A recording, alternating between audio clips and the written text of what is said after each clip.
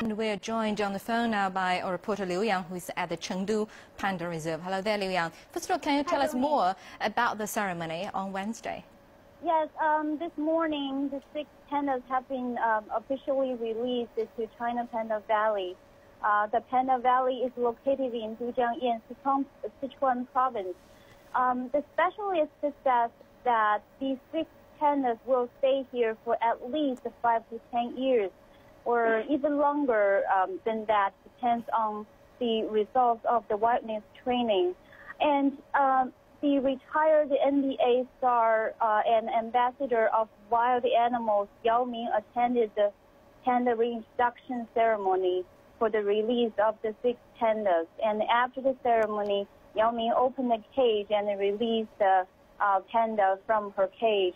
Mm-hmm. Uh, he told us that uh, he's been working with several NGOs on protecting the endangered species and the wild animals. Mm-hmm.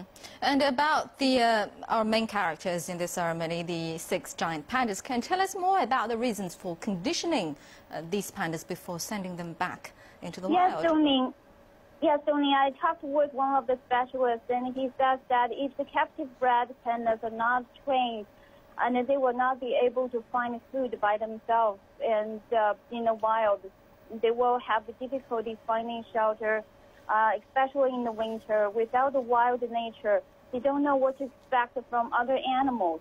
And most importantly, right now, the captive bred pandas are fully reliant on humans.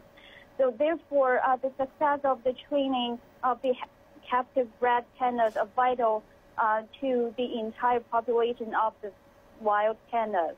Mm -hmm. All right, thank you very much, Louis. I'm reporting from uh, the Chengdu Panda Reserve.